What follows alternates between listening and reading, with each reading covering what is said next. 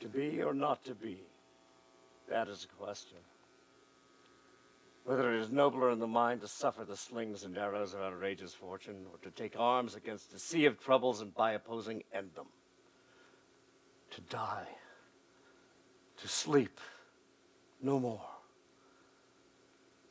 And by a sleep to say we end the heartache and the thousand natural shocks that flesh is heir to, 'tis a consummation devoutly to be wished to die, to sleep, to sleep, perchance to dream.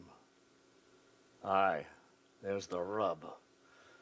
For in that sleep of death, what dreams may come when we have shuffled off this mortal coil must give us pause. There's the respect that makes calamity of so long life.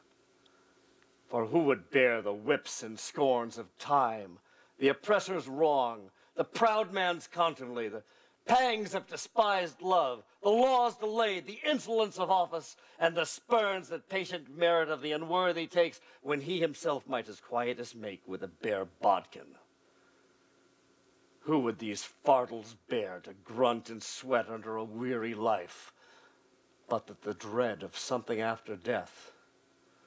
The undiscovered country from whose bourne no traveler returns puzzles the will. It makes us rather bear those ills we have than fly to others that we know not of. Thus conscience does make cowards of us all. And thus the native hue of resolution is sicklied o'er with a pale cast of thought. And enterprises of great pitch and moment with this regard their currents turn awry and lose the name of action.